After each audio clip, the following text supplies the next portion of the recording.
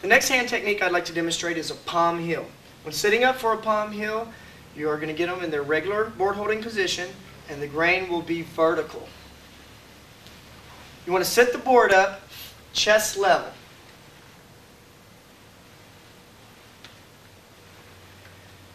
Get into a deep front stance, just like if you were doing a elbow strike. Hand reaches out, left hand out, right hand if you're doing the opposite hand. Hand chambers all the way back. You're going to take a stutter step forward, scoot forward. You're going to come at the board just like as if it was a punch. Wrist is going to turn over, but you're going to be hitting with the palm of your heel. Again, front stance, stutter step forward, hand is back, palm heel. Note the twist. As you can tell, the hand is twisting, going through the board.